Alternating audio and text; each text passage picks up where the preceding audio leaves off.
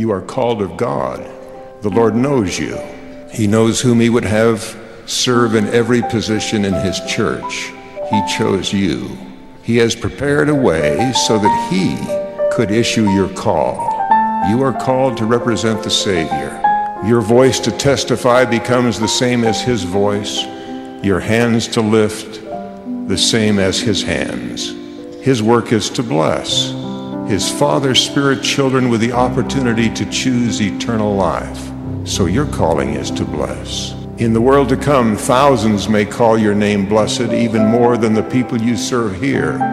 They will be the ancestors and the descendants of those who chose eternal life because of something you said or did, or even what you were. You are in the Master's service. You are his representative. Eternal lives depend on you. He faced opposition, and he said that facing opposition would be the lot of those he called. The forces arrayed against you will try not only to frustrate your work, but to bring you down. The Apostle Paul described it this way For we wrestle not against flesh and blood, but against principalities, against powers, against the rulers of the darkness of this world. There will be times when you will feel overwhelmed. One of the ways you will be attacked is with the feeling that you are inadequate.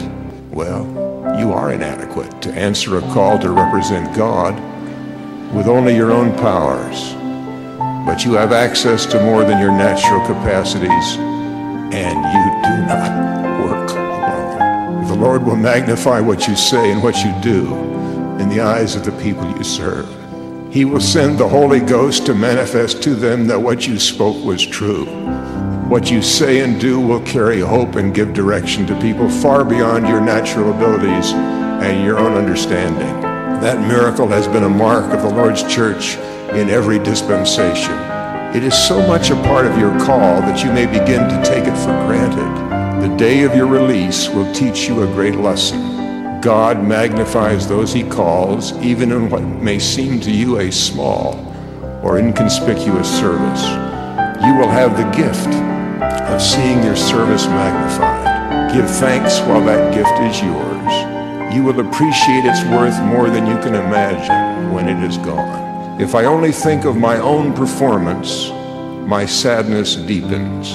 But when I think that the Lord promised that His power would go with me, I begin to look for evidence of what He has done in the lives of the people I am to serve.